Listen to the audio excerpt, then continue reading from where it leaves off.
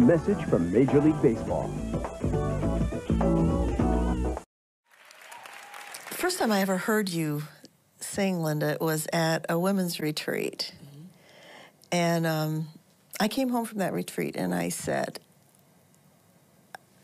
I heard a girl today who is an incredible communicator.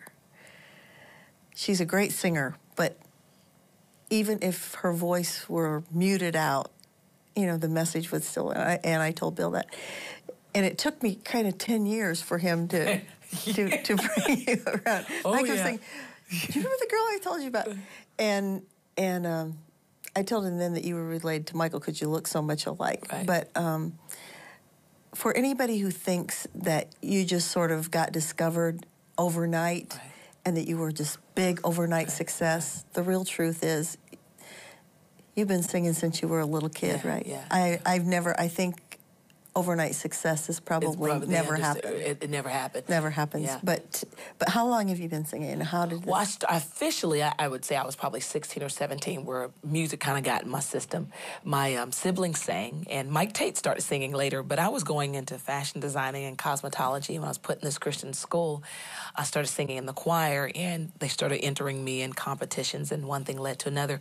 But it really did not become a ministry. I was until I was in college uh, in Virginia. And uh, I remember um, I used to get up in concert, and to say this today is, is funny because it was the most innocent thing I think I could say. Uh, I get up in concert and I would be singing, and I would ask people at the end of the concert, I said, Would you pray for me? I said, You know, one day I want to be the world's greatest gospel singer and pray that God has this happen and all this. And I remember one night when I went to pray, and I was in my dorm room, and the Lord just sweetly spoke to my spirit and said, It's not as important that you be the greatest gospel singer as it is you have my anointing upon your life. And so from that day, 1981 is when I officially started doing my concerts in churches all over. Um, I've just been praying for God's anointing. So it doesn't matter what God wants to do with this voice or with this person, but that when I sing, it's not, I'm just another singer, but that yokes are broken and burdens are lifted and all of those things happen. And um, I do meet people all the time, Gloria, that goes, you know, uh, how do you get with Bill Gaither? How do you get in this whole circle? And I tell people, you get with God, and God will get you with whomever He needs to get you with in order to fulfill His will in your life. And and uh, it's it's it's awesome. And I have to say, I am. You have been hands down like the best cheerleader. Um, I've had people that have supported me in all those things, and they're great. But for you to tell Bill for year after year after year you know, about getting this kid, there are so